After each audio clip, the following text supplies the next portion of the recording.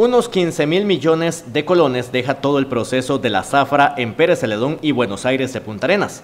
El proceso que comienza en enero reúne a una serie de sectores que son beneficiados con todo este trabajo que se hace por un periodo de más o menos tres o cuatro meses. Los actores que participan para dar, dar algunos indicadores, eh, entregadores de caña son cerca de 3.000 entregadores. Esta zafra pasada realmente fueron 2.649 entregadores de caña. Ya hice unas consultas y estamos proyectando eh, cerca de 3.000 productores que van a entregar caña, porque tenemos un aumento en la producción, entonces hay un poquito más de, productores de caña.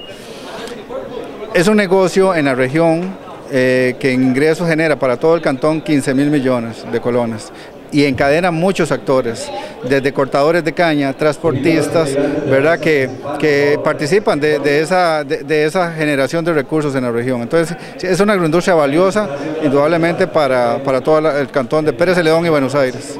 Uno de los aspectos con los que se tiene que luchar en el sector son los precios en el mercado como sector a nivel nacional pues eh, se proyectan precios un poquito más bajos en nuestra cuota, hay un crecimiento en nuestra cuota y eso, esos son los retos que tenemos que resolver casualmente financieramente y que yo diría que que nos ponen, nos ponen ahí mirando por la ventana estos, estos retos que tenemos con el tema de precios. El ambiente de incertidumbre en 2019 es una situación país, comentó el encargado de operaciones del ingenio de Copeagri RL.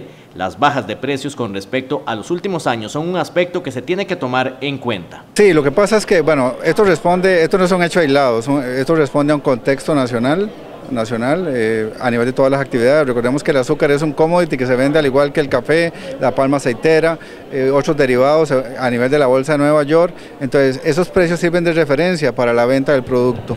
Entonces, hoy en día el precio del azúcar a nivel internacional está a 12.5 centavos de dólar la libra. Hace tres años estábamos a 21 centavos de dólar.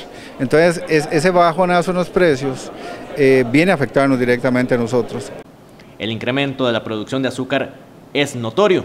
Tenemos un incremento en la producción, hay un incremento en producción de azúcar y ese excedente pues se va a vender a esos precios. Entonces indudablemente eso nos genera una incertidumbre eh, a nivel de ingresos, a nivel financiero para, para el 2019. Pero reitero, son parte de los retos, son las decisiones que tenemos que ajustarlas a esas, a esas realidades y, pues eh, creo que es una cuestión de sector, ¿verdad? La zafra 2019 comienza el 3 de enero y se extenderá por lo menos hasta el mes de abril.